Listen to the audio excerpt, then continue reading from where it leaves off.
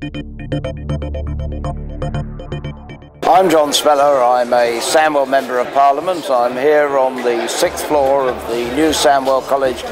Delighted to see this great new development in our borough, which will be of huge advantage to youngsters for generations to come. This was very much a team effort. We had the local members of Parliament, uh, Adrian Bailey, Tom Watson and myself working together with Sandwell Council and also of course with the college. And we really campaigned hard. And I'm delighted we're now seeing the fruits of that rising from the ground here in the middle of West Bromwich.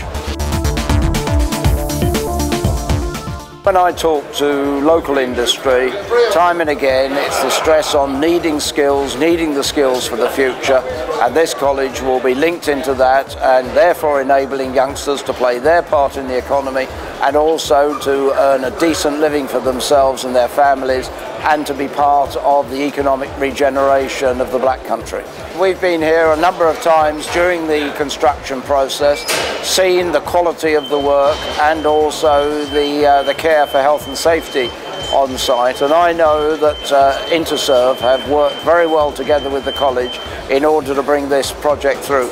It's a real example of public-private partnership and there's a lot of talk about uh, public spending. This is public spending in concrete terms and that shows how this can really benefit an area but obviously it needs that partnership and those skills Interserve's provided them.